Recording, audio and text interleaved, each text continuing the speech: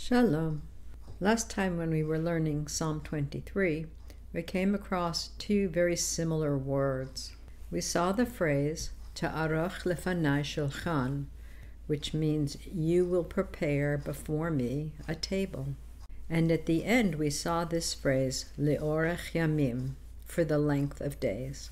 Now the two words are spelled differently, one with an ayin and one with an aleph, and we have seen that this has caused homonyms to occur before. So when we look at the root with the ayin, arach, it means to set in order or to arrange, as we saw with the table.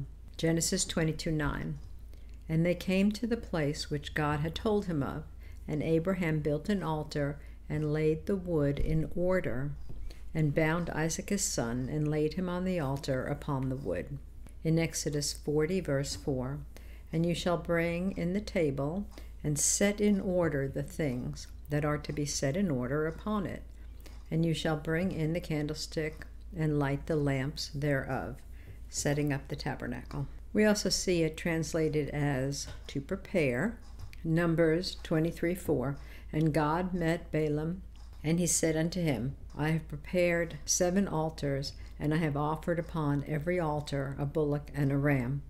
So the preparation of the altar requires arranging things, putting them in, in order. Psalm 89 6. For who in the heaven can be compared unto Jehovah? Who among the sons of the mighty can be likened unto Jehovah? So if we lay things out and we arrange them side by side, then we can compare them. Job 28 19. The topaz of Ethiopia shall not equal it, neither shall it be valued with pure gold. So if we're comparing things, we can see which things are equal to each other and which things are not. We have a couple of words that come from this root. Ma'arach is a noun that means arrangement. Here it's translated again as preparations. Proverbs 16:1 The preparations of the heart in man and the answer of the tongue is from Jehovah. Another very similar word, ma'arechet, also means the rows, and it can also be translated as the showbread, which is laid out in order. Leviticus 24 7. And you shall put pure frankincense upon each row, that it may be on the bread for a memorial, even an offering made by fire unto Jehovah. Moving on to the second root with the aleph, orech means the length. This can be either in space or in time. Genesis 6:15.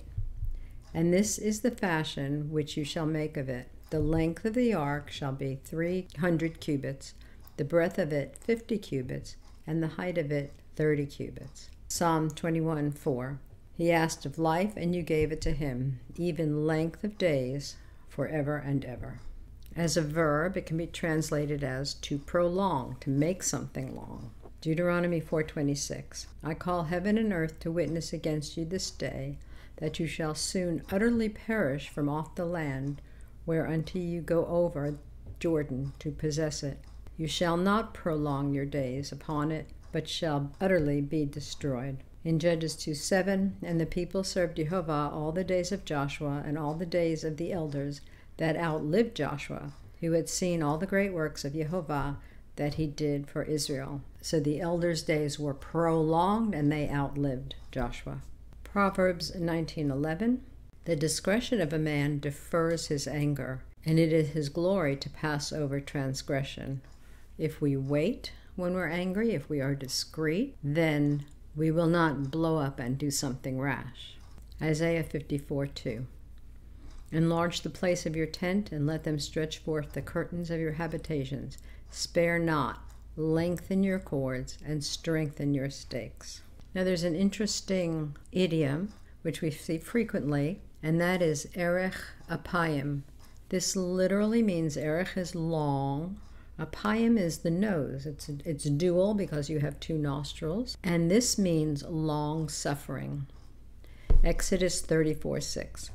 And Jehovah passed by before him and proclaimed, Jehovah, Jehovah God, merciful and gracious, long suffering, erech and abundant in goodness and truth. There is, I think, one time an idiom that uses the word short nosed to mean angry, and that's kitsar apayim. Proverbs 14 17. He that is soon angry deals foolishly, and a man of wicked devices is hated. Usually, the idiom for anger, and in particular God's anger, is has to do with the burning of the nose. In one case, vayichar apo, and we see the af here is in the singular; it's not in the dual, as the nostrils of long suffering. Yichar is burning. Genesis 39:19. And it came to pass, when his master heard the words of his wife, which she spoke unto him, saying, After this manner did your servant to me, then his wrath was kindled. Another word, boer, is used with the nose, boer apo, also for anger. Isaiah 30:27. Behold, the name of Jehovah comes from far, burning with his anger, and the burden thereof is heavy. His lips are full of indignation, and his tongue is a devouring fire. This is a common image if you think about the bull when he's angry, the smoke is coming out of his nostrils. His anger is burning, and it's in his nose. There's one more word with a different spelling that also can be part of this similar words group, and this is arach with a chet instead of a kaf. The noun appears in a few places, 2 Samuel 12:4. And there came a traveler unto the rich man, and he spared to take of his own flock and of his own herd to dress for the wayfaring man that was come unto him, but took the poor man's lamb and dressed it for the man that was come to him from the parable that Nathan told David. In Job 34 8, this appears as a verb, but it is a noun in Hebrew which goes in company with the workers of iniquity and walks with wicked men. The basic idea of this root is a path, not so much a pathway that we walk on, but a path as a manner of behavior. Genesis 49:17. Dan shall be a serpent by the way, an adder in the path that bites the horse heels, so that his rider shall fall backwards. Psalm 25:4. Show me your ways, Jehovah. Teach me your paths. An interesting verse is Psalm 8 8 The fowl of the air, and the fish of the sea, and whatsoever passes through the paths of the seas. A 19th century naval officer, an oceanographer named Matthew Maury, whose nickname was Pathfinder of the Seas, he is considered the founder of modern oceanography. He took many scriptures quite literally and made application to the ocean. And this is his most famous scripture based insight, based on Psalm 8 8, that there are paths in the sea, that the oceans have subsurface currents with regular circulation patterns. Some examples of this include the equatorial undercurrents of the Pacific, the Atlantic, and Indian Oceans, the California undercurrent, and the Agulhas undercurrent, the deep thermohaline current in the Atlantic, and bottom gravity currents near Antarctica. So he literally applied the Bible and he made an amazing discovery. Derived from this from this root, orcha, we have the word caravan. The caravan is a group of people who are on the way, on a path to somewhere. Genesis 37 25. And they sat down to eat bread, and they lifted up their eyes and looked, and behold, a company of Ishmaelites came from Gilead with their camels, bearing spicery and balm and myrrh, going to carry it down to Egypt, and they carried Joseph with them. This root is more common in modern Hebrew as the word for guest. The male guest is oreach, and the female guest is orachat.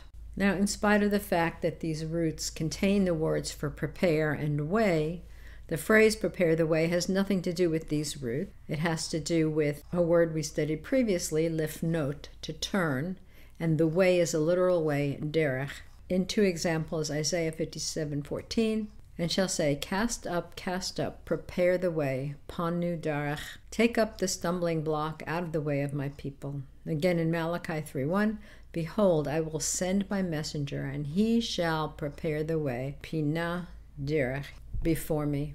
So the concept here is we're turning our face in another direction. We're taking a road and we're looking for something, turning for something, anticipating something new. Until next time, Tasimita Inayim Ahashemayim. Keep your eyes on the sky. Your redemption draweth nigh. Shalom.